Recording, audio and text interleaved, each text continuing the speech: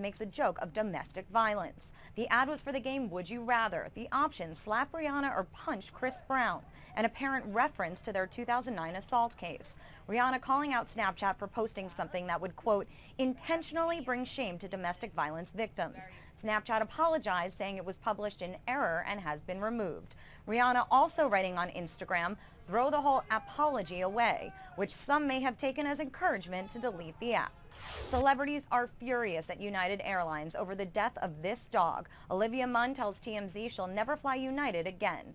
James Corden and Ashley Benson also lashing out on Twitter. The dog died after a flight attendant made the owner put him in the overhead bin. United has since apologized. In other news, 007's 25th story is being written by director Danny Boyle.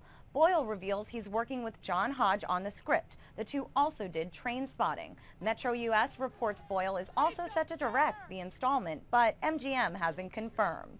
We do know Daniel Craig will reprise his role as James Bond, and the film is due out in 2019. In New York, Ashley Dvorkin, Fox News.